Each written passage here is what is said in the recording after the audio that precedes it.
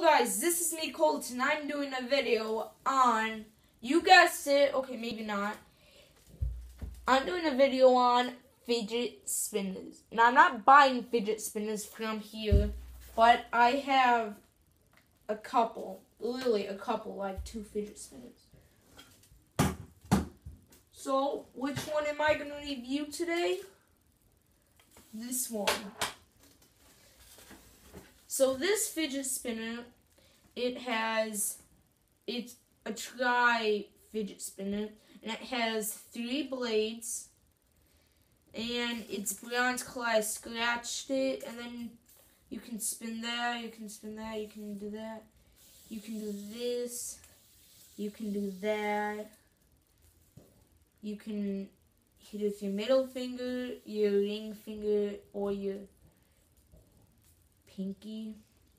And I can switch hands.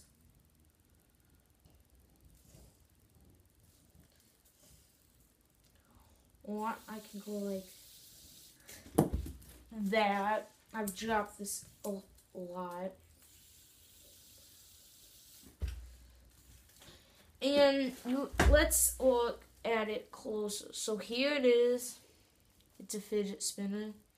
And it's kind of dented I it was like that when I got it. And where can you get this? Well, I got this at my local Walgreens.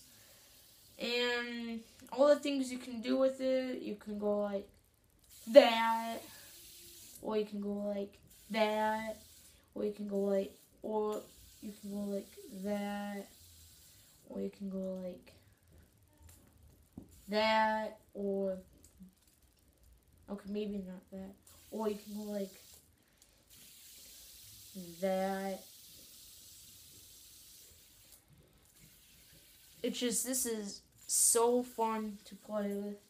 And let's time it. Let's see how long this will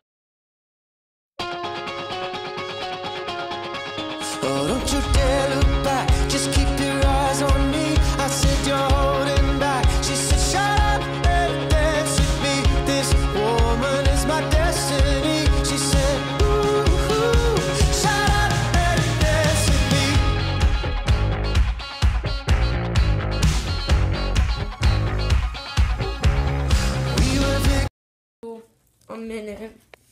And it's so weird because, like, when you just spin it, it has a weird, like, effect. Like, what it looks like it's going the other way, but it does not actually, like, happen. So, that's my review on this tri-bladed, I guess I'll call it that. This tri-bladed fidget spinner.